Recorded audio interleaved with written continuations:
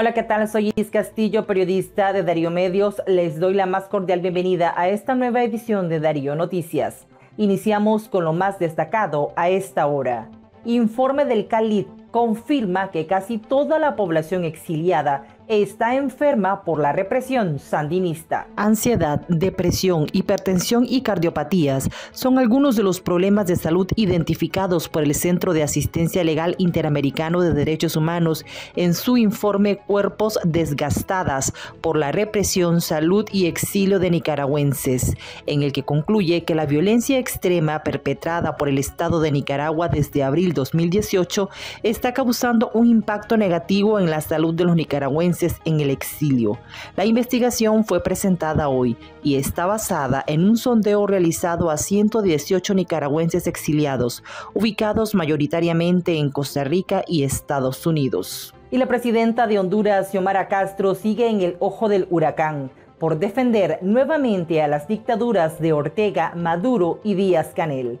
Esta vez la mandataria hondureña pidió que se levanten las sanciones inexistentes contra Nicaragua. Al mejor estilo de la película Abogado del Diablo, la mandataria hondureña salió en defensa de los atropellos a los derechos humanos cometidos por el régimen de Daniel Ortega, de Nicolás Maduro y de Cuba. Es válido aclarar que Castro parece estar perdida en el espacio, pues las sanciones que pide eliminar no son contra Nicaragua, sino para los funcionarios en específico que han cometido actos de corrupción y están ligados al régimen sandinista. Condenamos el largo bloqueo contra Cuba y contra Venezuela.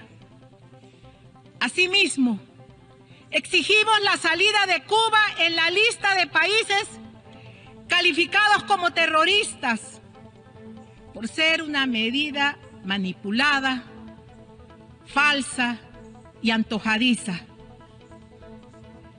También se debe de eliminar las medidas y sanciones injustas contra Nicaragua, porque son barreras que nos impiden a normalizar nuestras relaciones con el país hermano.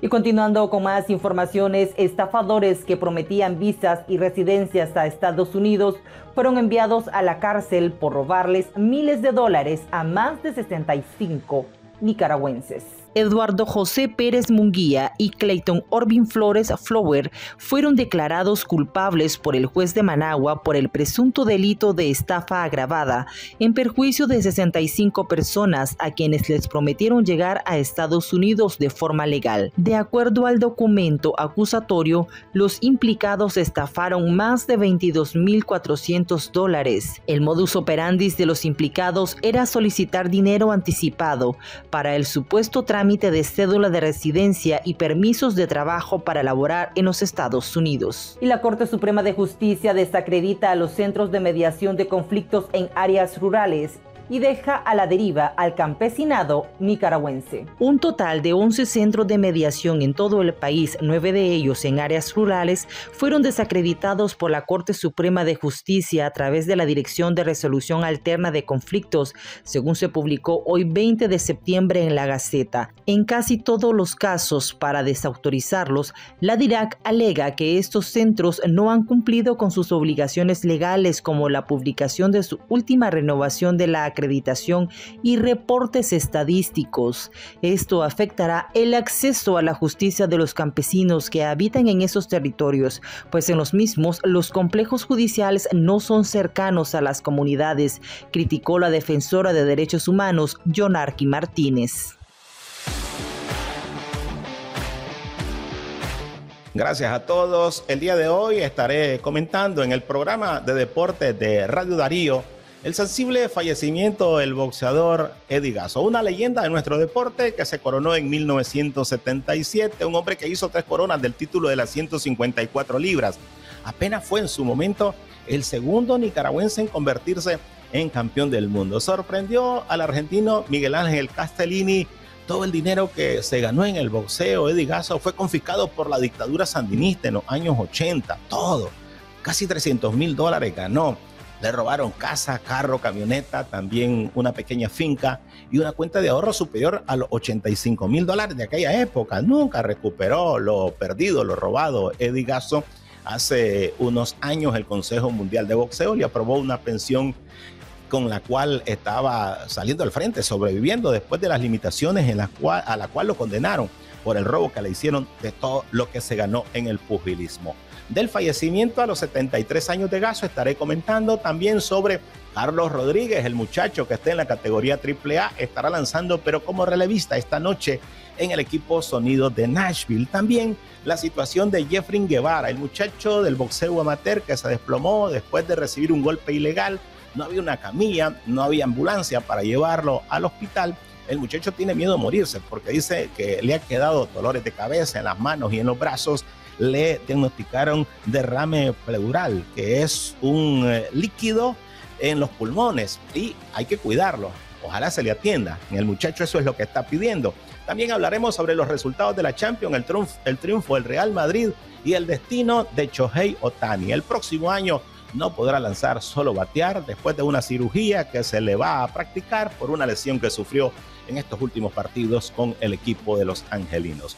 Todo esto y mucho más en el programa de deportes de Darío Medio, Radio Darío. Gracias.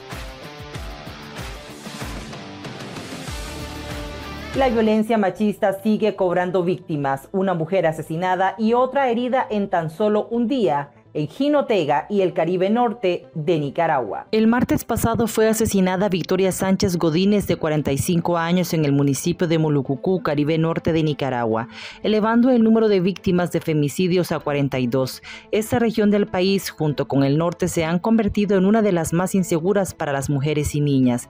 Ese mismo día ocurrió el femicidio frustrado en perjuicio de una adolescente de 16 años, quien recibió varias cuchilladas en la cabeza y en el cuello a manos de un un sujeto que la acosaba en la comunidad Las Morenitas del municipio de Jinotega. La Organización Católica por el Derecho a Decidir señala que con las 18 mujeres asesinadas en el exterior, el número de nicaragüenses que han sido víctimas de femicidios en lo que va del presente año asciende a 60. Y hemos llegado al final de nuestro noticiero, pero recuerde que para más contenido informativo visite nuestras plataformas en streaming web y redes sociales. Suscríbete a nuestro canal de YouTube arroba Radio Darío Estamos en Instagram como Radio Darío-Nick. Síguenos en Twitter como arroba Radio Darío Ni. Dale me gusta a nuestra página en Facebook Radio Darío o síguenos en nuestro sitio web radiodarío893.com. Estuvo con ustedes Ciris Castillo y nos vemos en una nueva edición.